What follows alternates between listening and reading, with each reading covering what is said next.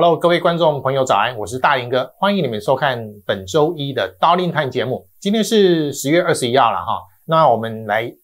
预备看一下本周焦点指数，它未来这一周它比较有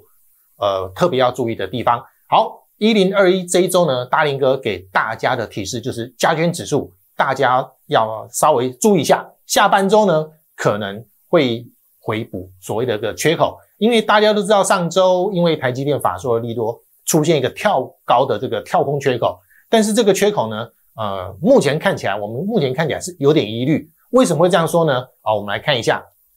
这个是上周一哦，大林哥的大林泰哈，我们大概就可以很严。上周一分享的就是上周本来就是会过二三零七九那个高点，那个高点基本上已经不是什么特别大的压力啊，因为很多的原因，大林哥上周一有解释过了。但是你们要稍微注意一下啊，最左边第一个黄圈圈呢，就是那个突破高点二三零七九那个位置的高点啊，很当时突破的时候呢，基本上应该是个很良性正向的一个高点突破，意思说呢，往上再延续多方的力道呢，基本上应该是要做往上延续，所以你看它下方那个成交量的地方，有没有发现，当它突破高点的时候，它当时是有出现这个成交量。而且是属于多方的量能往上买，那因为隔天的时候呢，出现这个 ASML 啊，就是艾斯摩尔它的大利空，造成那个全球股市的大幅的下挫哦，大家应该都有印象嘛。艾斯摩尔因为它的财报利空，造成那一天啊，所有科技股基本上都是所谓的掉大跳水。但是我们的加权指数那一天算是守得很不错，为什么？你因为看人家隔天虽然是属于跳低啊。过高之后，它马上出现跳低，可是呢，它那一天它并没有收黑 K，而且它的成交量呢还是有继续做增加。意思说呢，啊，当时的市场呢对于过高那个二三零七九应该是属于一个正向的看法，所以纵使因为艾斯摩尔的利空超那个跳空跌下来的时候呢，大家并没有因此而感觉说哦市场的多方就已经做结束了。But 啊，但是 VOT 大家特别注意一下，因为。直到那个上周五啊，因为上周四是台积电法说嘛，所以造成一个跳空缺口，就是你现在画面上看见这个。上周五，上周的最后一天的交易日，有没有发现啊？上周五它继续创新高之后，它加权指数是所谓的收黑 K 啊，但是更重要的一点是什么？成交量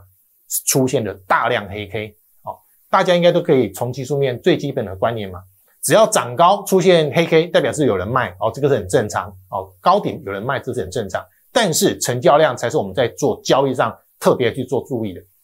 加权指数上周五它创这个短期新高之后，它反而出现近期以来最大量的黑 K，所以这个在我们研判上来讲是应该是呃过高这个二三零七九的时候的多方的量能呢，基本上都在上周五趁着台积电的法说全部通通倒出来了。啊，所以要特别注意一下啊。上周五这个是所谓的出货量，过二三零七九的多方量已经在上周五啊，对不起，在上周五已经开始做到货的动动作。那为什么会这样去延释解释呢？这个是一样是加权指数的走势图，只是我们换收价线。那我们在做交易上来讲，呃，有一个很简单的研判方法，就是所谓的形态等幅啊。基本上在这个八九月那个做回撤的时候呢，它出现类似一个。短 W 底的形态，那到了上周五啊，所谓的黄色框框，你有没有发现有两个黄色框框？它就是所谓的等幅涨幅的这个目标。其实，在上周五的时候呢，它已经达到了所谓的等幅目标哦。所以我们会是说啊，那上周五利用台积电的法说跳高交代这个等幅目标之后，有人适度去做卖出，哎，无可厚非嘛，可以。可是问题就来就是那个成交量哦，因为成交量突然是属于的出大量。那代表说啊，卖的人是真的很多，而且大家都是猜高点差不多的时候就去做卖出。然后呢，第三个啊，这个就是所谓的垃圾盘。你们还记不记得上周五加权指数涨了四百三十三点？哈，资料都在这边。上周五涨了四百三十三点，结果下跌的加速一样又破千家哦。这个迹象应该不是只有上周五。事实上来讲，在短期来讲，你们常常应该都有看见这种所谓的垃圾盘，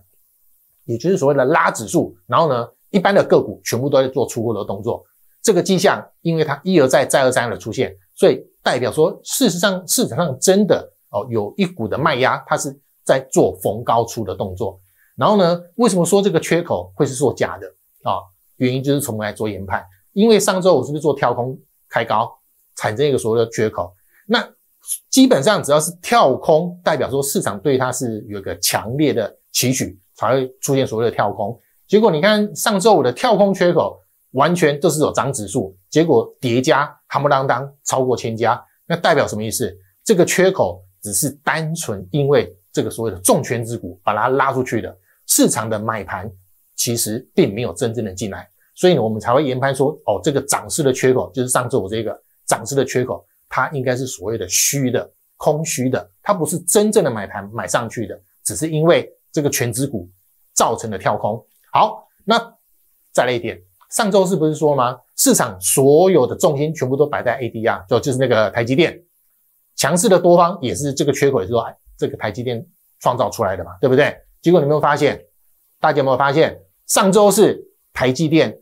ADR 也是往往就是美美盘它跳高。收一个长红线，那个长影线、上影线的这个红 K 之后，隔天也就是礼拜五，台积电的 ADR 马上收破它的跳空高点那个低点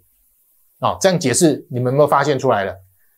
台积电这么好的利多，它产生一个利空，呃，利多跳高强势的上涨之后，结果它的低点在隔天马上就被收破了。请问，如果你们在做技术面稍微有点了解的话，强势的股票，它是不是不应该隔天就马上跌破它所谓的起涨点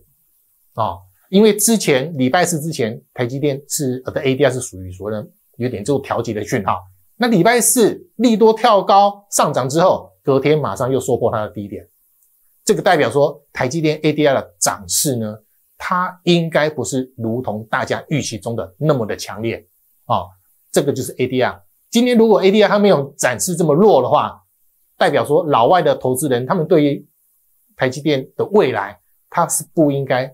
这么的看弱哦。所以你看，一个强势股今天表态，结果隔天马上就转弱，这个基本上我们要稍微注意哦。好，所以研判下来，大盘上周五出现了所谓的出货量，然后呢，因为它的涨幅目标上周五也达到了达标，然后呢。这个垃圾盘就是说拉全指股，然后呢卖家超多，就是跌出出这个股票嘛。这种所谓的垃圾出货盘又持续一直增一一直在做出现，然后呢台积电的 ADR 一天涨一天跌，而且还跌破起涨点的低点啊，所以我们才也会研判说你这个大盘可能要小心哦。上周五出现的这个缺口很有可能下下半周哈，本周的下半周它很有可能会出现回撤的动作。好，那为什么会是下半周，那不是上半周？哦，另外一个原因，这个啊，一个就是我们上面是所谓的台子期哦，台湾的加那个台子期货，下面那个是加权指数的数字。有没有发现台子期到今天目前为止，它依然是呈现很强势的正价差。到上周五为止呢，它正价差还有维持到两百点以上哦，哦，还有回翻两百点以上。所以呢，我们才会去研判说，哎，上周你要马上转弱，有很多转弱的迹象，就刚刚说过了。可是你要它马上转弱呢？我们的期货又没有出现转弱，因为期货代表说正价差还这么多，代表说它还没有过度的看弱，哦，所以我们才会研判说可能下周才有可能出现这种回补这个缺口的走势。好，那更重要一点啊，这个是费半，大家都知道，大林哥把家电指数跟费半摆在一起看，一目了然，大家可以看得出来啊，外国的指数，美股指数这边呢，跟台湾家电指数联动性最高的，应该就是只有费半走势。走势图几乎就是走一模一样的。那你看上周五加权指数是不是创新高，突破一个盘整的高点，创新高哦？因为台积电的关系，结果你看看费半有没有涨？其实费半其实没有涨哦。它自从那个埃斯莫利空之后，它就一直在干嘛？它就出现跟盘整偏低的啦哦。所以要特别要注意费半它没有啊出现啊这个相对的涨势啊，也就是说的背离现象啊。所以大家就可以注意喽。所以。节目就是这样，大林哥要跟你讲，就是一个好的分析师呢，基本上呢不会只是告诉你画大饼哦，说哦后面会多多厉害，多会涨，会涨到多高，涨到火星啊。一个好好的分析师不应该只是会给你画大饼，而是也要相对告诉你未来可能会出现的风险哦，让大家知道说哦什么地方呢？呃，你要稍微稍微小心谨慎一点，不要过度的做追高啊，要不然的话套住的话，其实是不大好的啊。所以今天节目最后呢，大林要送给大家的，如果要出现这个回撤、这个回补这个缺口的话，它会出现什么的迹象啊？如果你想知道，在今天节目底下留言，回补缺口的领先讯号会是什么呢？来，你下面底下留言，那加来来大林哥询问，我直接就告诉你，当它出现这种讯号的时候呢，应该就是会开始做回补缺口了。好，今天的节目就到这边，OK，拜拜。哦，烦死！每次下班前来叫我做这个做那个，每天忙到没时间吃饭，还要一直处理同事的烂摊子。难道公司要给我两份薪水吗？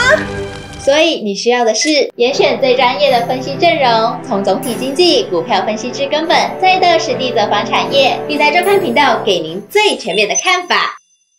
加入理财周刊，让你赚进第二份薪水。